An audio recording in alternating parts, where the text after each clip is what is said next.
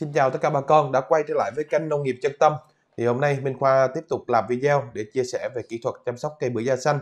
Và chủ đề quay ngày hôm nay thì Minh Khoa chia sẻ cùng bà con cách mà chúng ta xử lý vườn bưởi bị vàng lá rễ, bị suy kiệt à, nhưng mà đang mang trái trên cây. À, đây là vườn bưởi da xanh 600 gốc ở huyện Đồng Phú, tỉnh Bình Phước. Cây của mình thì được 5 6 năm tuổi rồi và do cái quy trình chăm sóc vườn mình nó chưa đúng à, cho nên là dẫn đến tình trạng cây mình hiện tại bị bệnh rất là nhiều à, đối với những vườn bị bị nặng như thế này á, thật ra nếu mà để phục hồi mà hoàn chỉnh một cái cây mà đang bị vàng lá rồi lá teo nhỏ như thế này cực kỳ là khó. Nhưng mà anh chủ vườn ở đây á, là anh mong muốn là có nghĩa là bây giờ phá bỏ vườn đi á, thì cũng rất là tiếc.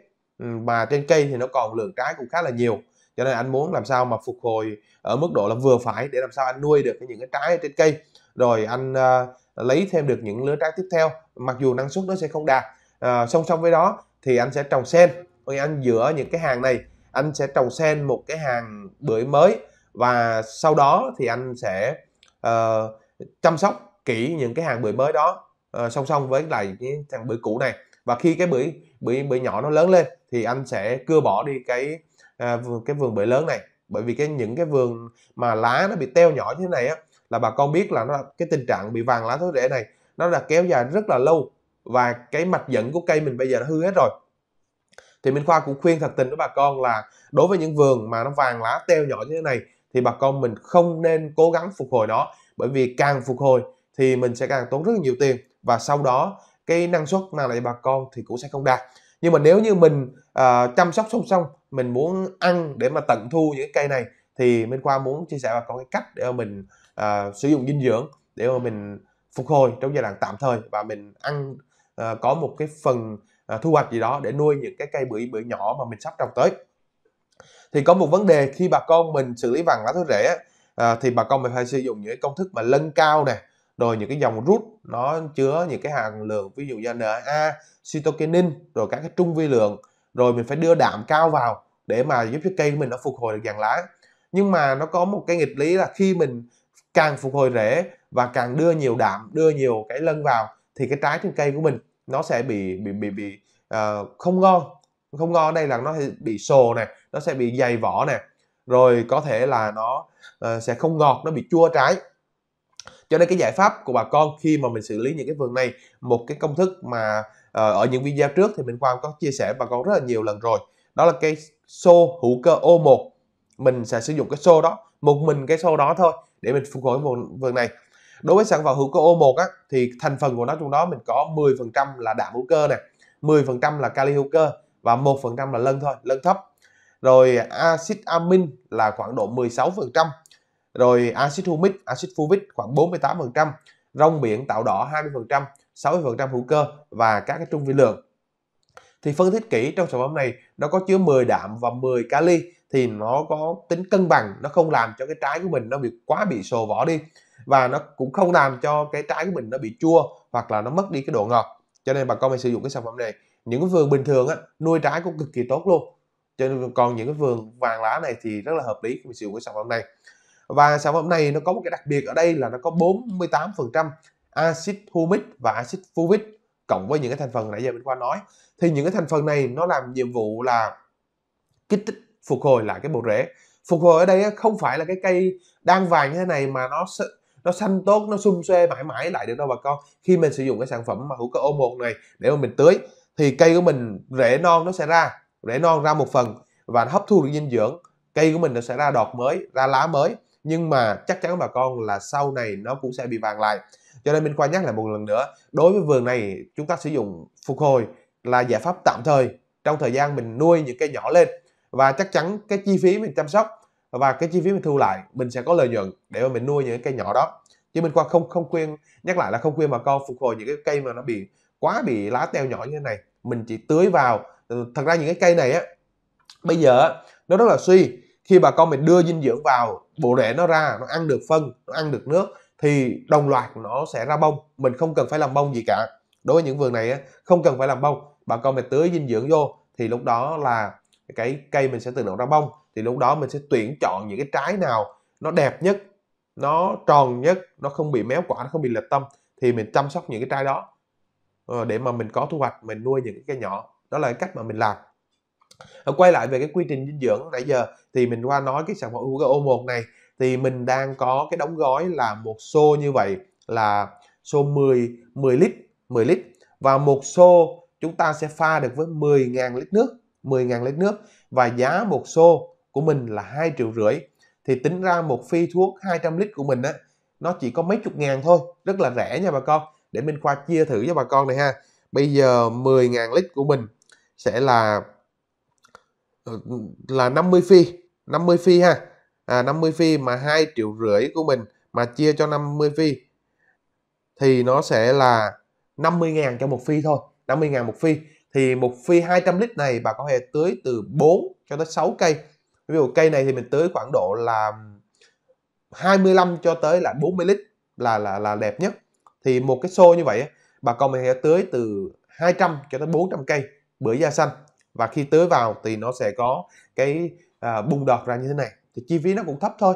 Thì bà con mình tính những cái cây vàng nặng như vậy á chúng ta tưới mỗi gốc khoảng 40 lít đi ha thì một cây cũng à, một phi 200 lít của mình sẽ tưới được 5 cây thì một cây của mình nó mất 10 ngàn. Thì mình chỉ cần thu được một vài trái trên cây là mình có thu lãi lợi nhuận đó rồi. Còn trước đây những quy trình khác á, bà con mình sử dụng những cái thành phần dưỡng rễ nè rồi bà con mình bổ sung NPK bổ sung các cái chất khác vào thì nó tốn một cây rất là nhiều tiền. Còn quy trình này bên qua cho vừa này xử lý thì mỗi cây khoảng 10 ngàn thôi. Đó, định kỳ khoảng độ một tháng mình tưới từ 1 đến 2 lần. Và hiện tại trên cây mình có trái mà nếu mình không đưa dinh dưỡng vào thì những cái trái trên cây mình sẽ không bán được, bởi vì nó sẽ bị khô đầu muối. Bởi vì à, bởi vì vì cái cái rễ của mình nó nó nó quá suy kiệt, nó không hút được cái dinh dưỡng lên. Thì thành ra là là là cái trái của mình nó bị khô đầu muối hoặc nó bị sượng. Rất là nhiều cái à, cái vấn đề khi mà cây của mình nó bị bị hư rễ như thế này. Cho nên bà con mình phải tưới thì mới thu được những cái trái trên cây. Và mình phục hồi trong giai đoạn tạm thời, mình phục hồi tới đâu, mình lấy trái tiếp tục mình ăn và mình chăm sóc những cây mới và từ từ mình sẽ bỏ đi những cái cây cũ này. Và sản phẩm hữu cơ ô 1 này thì mình cũng phun lá được không bà con? Nói chung là vườn này bây giờ chỉ cần xài một cái xô đó thôi. Mình vừa tới gốc mình vừa phun lá luôn. À, bởi vì cái sản phẩm này là nó dưới dạng hữu cơ dưới dạng hữu cơ cho nên là mình tưới gốc hay phun lá đều được cực kỳ an toàn cho cây trồng của chúng ta. Và bà con mình lưu ý với những vườn mà mình đang canh tác cây bưởi da xanh thì hiện tại là giá bưởi nó khá là thấp nhưng mà chúng ta cũng không biết được là trong mùa Tết này rồi năm sau năm sau nữa giá thành nó sẽ tăng cao hay xuống thấp như thế nào thì bên khoa có một cái à, chia sẻ muốn khuyên với bà con là khi mình đã cây tác bưởi da xanh cây mình đang đẹp cây mình đang có năng suất thì mình cố gắng canh chỉnh cái mức đầu tư làm sao đừng để cho cây của mình nó đổ bệnh.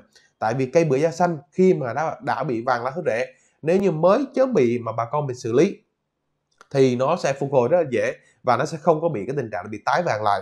Còn nếu như bà con mình thấy giá bưởi bây giờ thấp quá, mình không chăm, mình để cho cây bưởi của mình nó bị vàng lá, nó bị suy kiệt đi, thì một, hai năm nữa mà lúc đó giá bưởi nó lên cao thì đối với bà con mình không thể nào phục hồi được. Mình Khoa đảm bảo bà con đối với những vườn mà đã bị vàng lá rễ kéo dài và lá của mình đã bị đã bị teo nhỏ thì bà con mình không thể nào mà mình phục hồi được cái cái cây của mình đâu. Cho nên là bà con mình có thể là thay vì ngày trước mình sử dụng những loại phân bón ví dụ như là phân bón nhập khẩu cao cấp gì đó mình bón một cây một lần một ký NPK hai ký NPK rất là nhiều. Rồi dinh dưỡng mình phun trên lá một phi mấy trăm ngàn. Thì bây giờ mình tiết kiệm lại mình sử dụng những cái sản phẩm nó phù hợp và nó tiết kiệm hơn. Ví dụ cái sản phẩm hữu cơ O1 này cũng là một cái sản phẩm mà bà con mình nên cân, cân nhắc sử dụng. Bởi vì nó vừa uh, thay thế được NPK vừa thay thế được phân hữu cơ và vừa thay thế được những cái dòng dưỡng rễ và dòng phân bón lá bình thường. Uh, giá mỗi phi chỉ có là 50 ngàn thôi nó tiết kiệm rất là nhiều so với các cái vấn đề bà con mình ờ, sử dụng cái phân thuốc trước đây. Và trong giai đoạn mà giá bưởi xuống thấp như thế này thì bà con mình nên ưu tiên các cái dòng hữu cơ. Bà con có thể mua thêm phân chuồng nè phân dê nè hay là phân trùng quế hoặc là phân bò. Mình tìm những cái nguồn phân nó rẻ nhất. Mình về mình ủ với trichoderma ủ với các loại enzyme các cái loại men vi sinh vật để mà uh, ủ hoa những sản phẩm ờ, những cái uh, phân chuồng đó đi và mình bón. Thời gian này mình lựa chọn những sản phẩm nào rẻ nhất tối ưu nhất và làm sao giữ cho cái cây của mình nó sẽ không có bị tình trạng vàng lá thối rễ điều đó là điều bà con mình nên quan tâm và cũng nên quan tâm tới vấn đề thoát nước nha.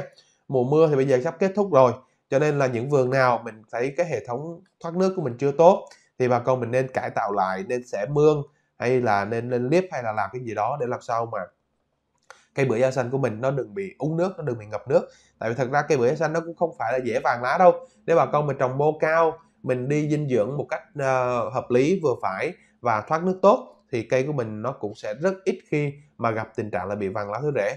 Thì hy vọng là thông qua cái video này bà con mình có một cái giải pháp để mà xử lý những cái vườn bưởi da xanh đang kinh doanh nhưng mà bị vàng lá thối rễ uh, hoặc là rễ nó suy yếu. Bà con mình muốn có một cái sản phẩm để vừa phục hồi cây nhưng mà vừa nuôi trái được thì công ty Đông Tâm chia sẻ bà con cái sản phẩm là hữu cơ O1 và nếu bà con mình có thắc mắc thì có thể để lại bình luận ở bên dưới video. Và muốn mua hàng thì có thể liên hệ với Minh Khoa qua số hotline 0988 668 991 công ty Đông Tâm thì gửi hàng toàn quốc à, ship hàng tận nơi cho bà con và miễn phí ship hoàn toàn. Bên cạnh đó thì còn rất nhiều cái chương trình quà tặng. Ví dụ một xô hữu cơ O1 này bà con mua một xô thì sẽ được tặng một nón bảo hiểm công ty Đông Tâm ha. Nó cũng rất là đẹp và rất là chất lượng thì nhưng đó là một cái món quà mà công ty Đông Tâm muốn tri ân với bà con khi mà đồng hành cùng với công ty Đông Tâm. Ờ, thì uh, video đến đây là kết thúc. Thì nếu bà con mình xem video mình thấy hay thì để lại bên qua một uh, nút like hoặc là muốn nút chia sẻ để cho những bà con trồng bưởi khác mình có thể xem được video này. Và nếu bà con chưa đăng ký kênh thì có thể là nhấn đăng ký kênh để mà sau này mình qua ra những video mới thì bà con sẽ dễ dàng nhận được uh, thông tin uh, và xem video thì rất cảm ơn bà con và hẹn gặp lại bà con trong những cái video sau.